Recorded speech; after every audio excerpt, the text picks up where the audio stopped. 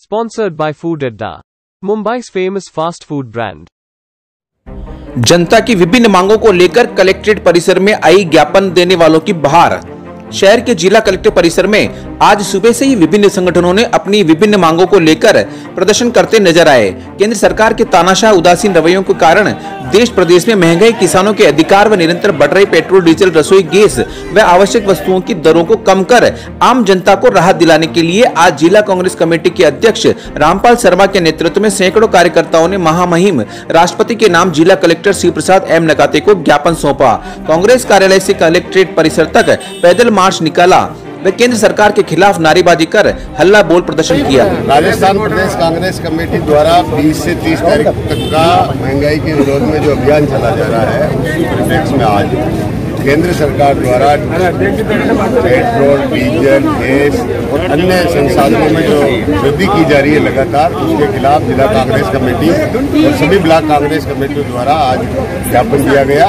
कि मोदी सरकार द्वारा जो हालात खराब है इस देश में, उसको सुधारा जाए, अन्यथा और बड़े आंदोलन किए जाएँगे। इसके बाद संविधान बचाओ संघर्ष समिति राजस्थान के नेतृत्व में जाति विशेष के युवक पर अभद्र भाषा का प्रयोग करने व धमकी देने के मामले में मुकदमा दर्ज कर कानूनी कार्रवाई की मांग को लेकर पुलिस अधीक्षक विकास शर्मा को ज्ञापन सौंपा।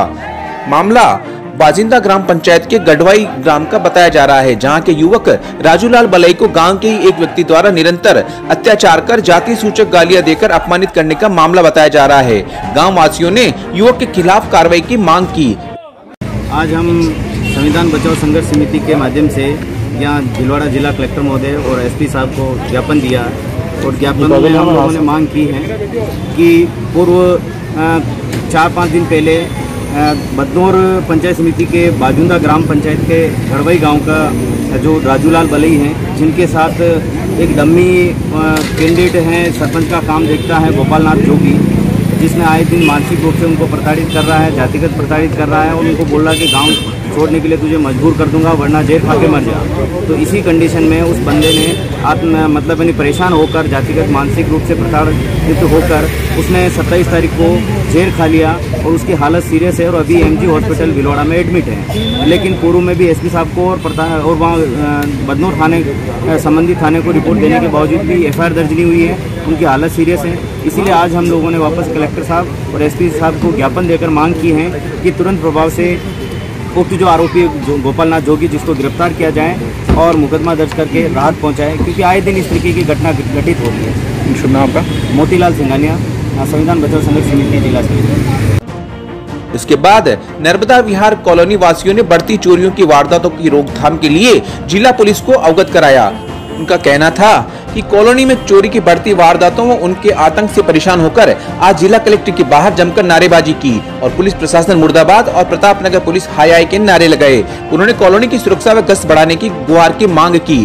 उन्होंने कहा कि वहाँ आए दिन चोरियाँ होती रहती है। पूर्व में भी चार बार चोरियाँ हो चुकी है, जिसकी प्रताप नगर थाने में रिपोर्ट दी। मगर अभी तक कोई ठोस कार्रवाई नहीं हुई। कॉलोनी वासी नर्मदा बिहार सेकेंड आज अपने कॉलोनी वासियों की तरफ़ से सभी लोग ज्ञापन देने आए जो 16 अगस्त 2021 को चोरी हुई थी और ये पीड़ित परिवार हमारे साथ खड़े हैं।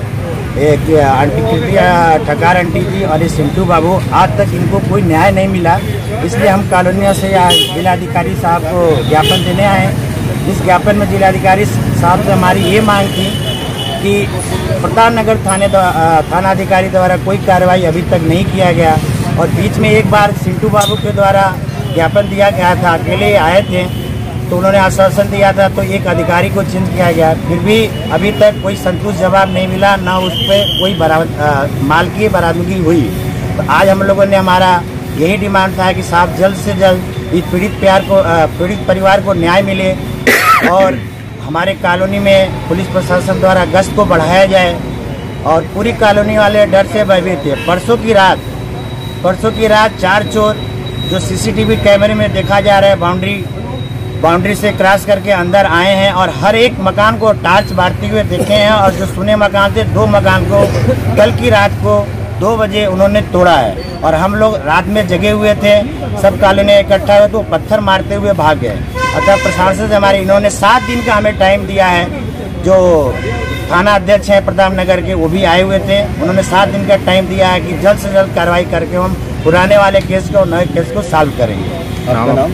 मेरा नाम सुधीर सिंह, जो हम काले, सभी कॉलोनी वासियों की तरफ़ से अपनी बात रखने आए हैं और मीडिया, सभी मीडिया बंधुओं को बहुत बहुत धन्यवाद इस बात को जो है प्रकाशित करें और आप लोग का सहयोग रहे तो हमारे जो माल बड़ा पीड़ित परिवार को न्याय मिल जाए। साथ ही सांगानेरी गेट के आसपास के वार्ड नंबर उनपचास के निवासियों ने कॉलोनी में पानी की सप्लाई पूरी नहीं होने को लेकर मोहम्मद सलीम के नेतृत्व में ज्ञापन सौंपा।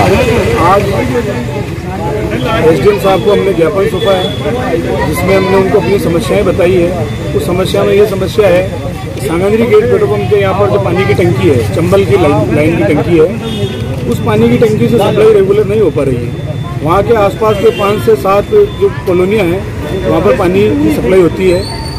पिछले एक महीने से पानी की सप्लाई बराबर नहीं हो रही है। पाँच मिनट पानी आता है और बंद हो जाता है। मतलब मोहल्ले वाले आसपास के लोग इतने परेशान हैं पानी की वजह से कि वो आंदोलन करने के लिए तैयार है। यहाँ आने के लिए तैयार थे 200-500 लोग आने के लिए तैयार थे, लेकिन मैंने उनको रोका है। और एक बार उनको ये सांत्वना दी है कि हम जाकर एक बार पानी की समस्या कलेक्टर साहब को बताएँगे, उसको उचित कार्रवाई कलेक्टर साहब करेंगे, उन्होंने हमको आश्वासन दिया एस साहब ने कि उचित कार्रवाई होगी। अगर नहीं होती है तो हम फिर यहाँ पर 500-400 जो भी लोग आते हैं, उनको लेकर आएँगे और एक बड़ा आंदोलन करेंगे। क्योंकि पानी की ऐसी समस्या है कि वो एक नेसेसरी चीज़ है। पानी के बिना जीवन ही नहीं है।